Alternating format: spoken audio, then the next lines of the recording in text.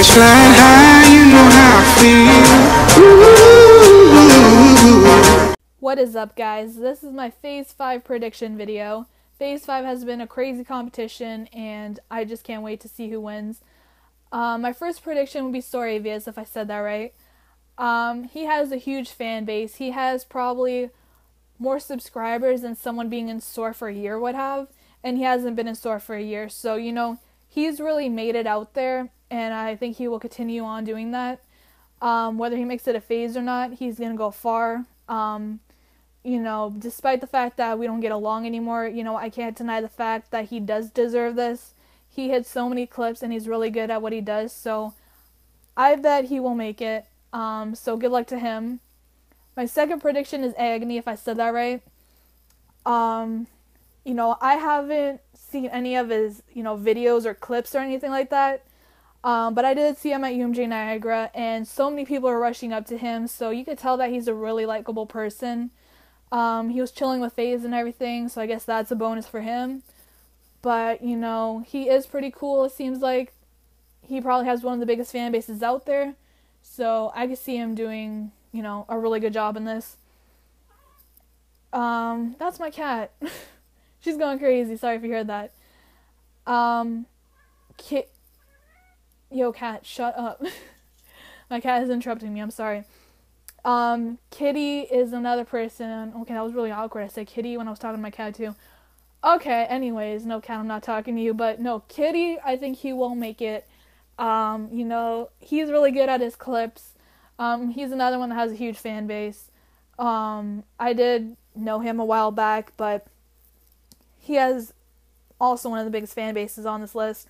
So I could definitely see a lot of people voting for him. And then there's a little you know, twists and turns to the other people I was going to say. I was going to say BLS and Dirty. You know, Dirty I've never really heard from until his competition, so I really can't say anything about him. But apparently, again, he does have a big fan base, so I can honestly see that. BLS, he has a fan base of people hating him and not, and the people that used to hate him are starting to like him, so that's kind of a maybe. But if you've noticed, I said, you know, fan base for like 99% of these people, you know, only two people I could really say something more than just a fan base. Um, and that's kind of sad, but basically, this is how the competition is, in my opinion. It's basically about fan bases. Um, and if you're known out there and not known, um, they've definitely, I think, in my opinion, put it too many people that are known in bigger clans. I'm not saying just because they're in a big clan that they don't deserve it. Of course, everyone deserves it if they're good. But the problem was was they can only pick a certain amount of people and I think they just picked too many people that are already out there. You know, they already have a chance to be in a big clan and everything. And all these people that tried, there's like thousands of people that tried out, and you know, they probably hit some great clips too. But since they're not so much in a big name, that they didn't get picked, and I honestly don't think that's fair. And I also think that, you know, it played out on FaZe's part because they picked Tensor and he's faked clips before, and then they're blaming him about it. Well, the only person that put him on that 100 list is FaZe officially because they're the ones that made that list. Yes, he tried out, but you know, they put him on that list. So that just screwed them up even more because they allowed someone that faked clips before to be in it. So, I mean, they definitely screwed up with this list just because his name is already out there. You know, they put him in. So, honestly, their list could have been way better than this. Um, too many known people on this list, definitely. Um, so that's all I gotta say. Um, I can't wait to see who gets in, though. It's gonna be very interesting. Hopefully, you know, no more drama that's bad.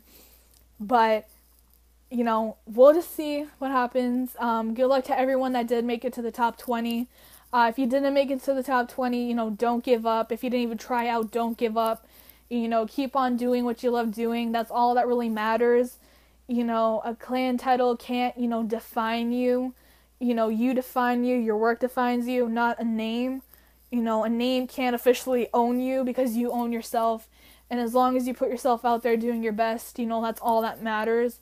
It's all about you and your work. So just keep on doing what you guys do. And good luck to everyone. Um, and make sure you comment saying what your predictions are. And thank you guys for watching. And once again, good luck.